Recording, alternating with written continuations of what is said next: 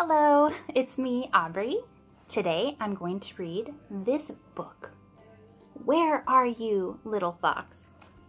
We're looking for the fox. He's hiding somewhere, and we have to find him. Are you ready to look for the little fox? Let's go.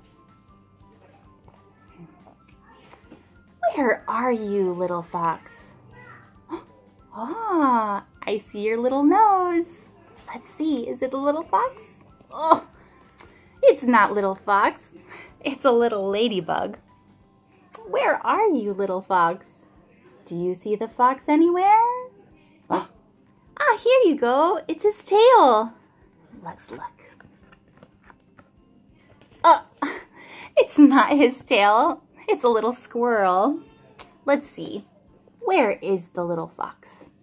Do you see him? Oh, maybe these are his ears.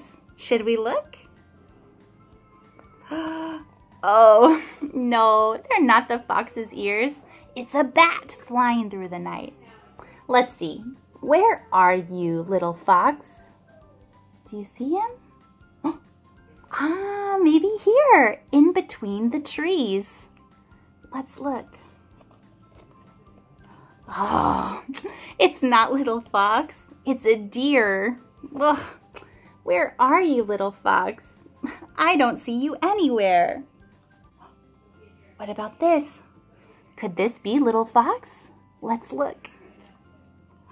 Ah, finally I found you, little fox. Here you are, cuddling with your mom. Good job, we found the little fox. Very nice work today. And that's the end. Thank you for finding me. Bye-bye. Bye-bye.